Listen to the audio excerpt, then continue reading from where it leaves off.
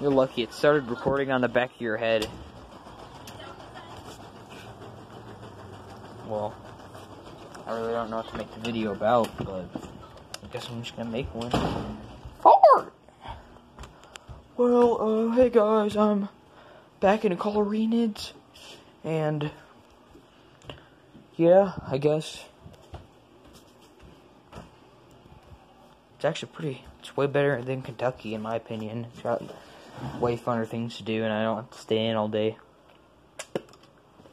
And just overall, really nice place. This is the place I'm staying right now for the summer. Uh, this is my hallway. Uh, this is my Aunt Tesla's room, I guess. Ow. And this is where the magic happens. A bunch of games and stuff that I play when I'm not at work. Oh yeah, there I am, guys. I'm so hot. Well, um, my, there's my speaker.